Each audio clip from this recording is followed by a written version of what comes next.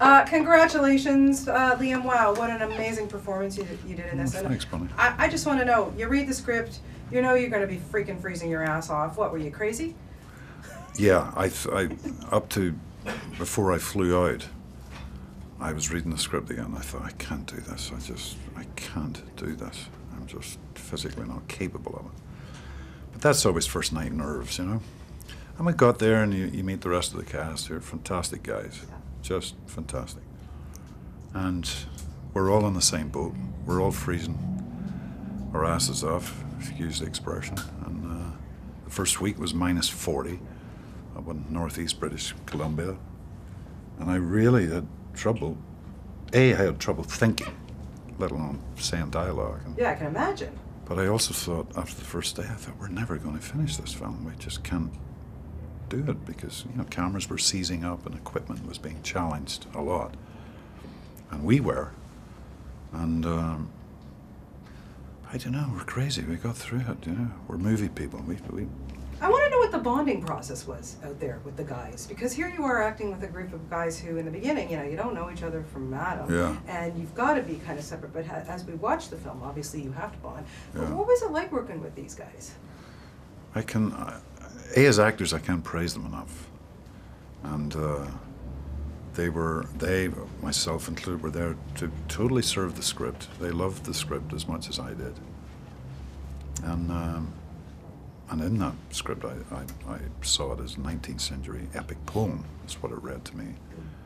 Um, Joe cast it very, very well, and Jules Daly, the producer, and uh, we, we just had this love fest. Yeah. We really did.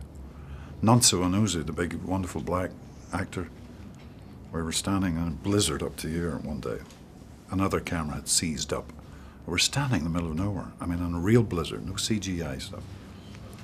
Freezing our asses off. And Nonso, who's a Shakespearean actor, just started this booming voice doing this scene from Othello. Wow. That was just like. That,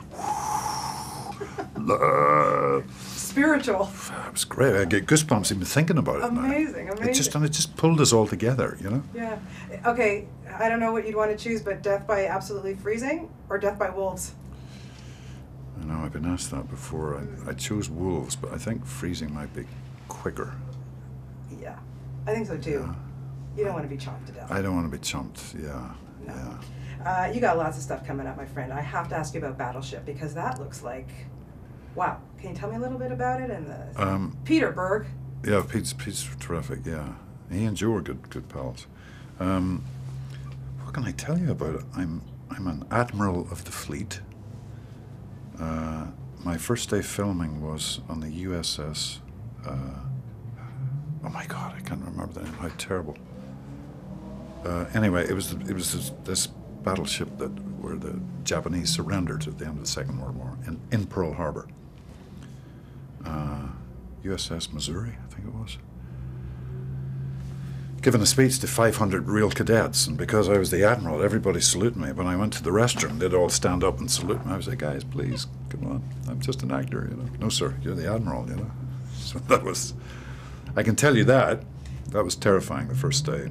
It's um, a lot of aliens coming down, and the U.S. Navy having to take them on. But it's very thrilling. Looks like it. It's very thrilling. Yeah, it really looks like it. Well, I look forward to that. Congratulations on your job in this. And I can't wait for Wrath of the Titans because you and Ralph Fiennes get to go at it. Oh yeah, yeah, yeah. We Good- do. Good Yeah. stuff. Good stuff.